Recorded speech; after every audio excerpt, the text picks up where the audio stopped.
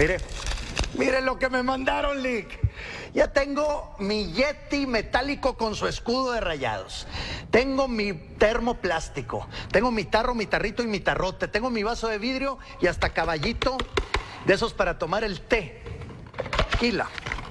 Pero ahora, en la vida, en la cancha y en el desayuno con mi cafecito, Lick.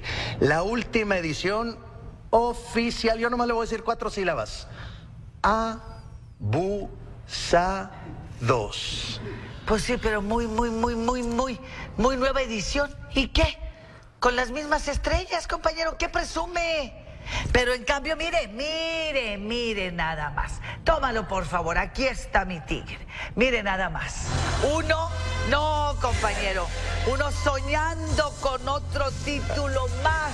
Pues va a ser nada más soñando, Lick. Oiga, ¿cómo?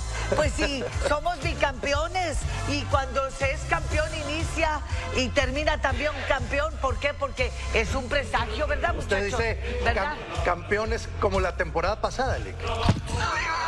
¿Cómo? Ay, se me fue, se me fue. Ay, perdón, perdón.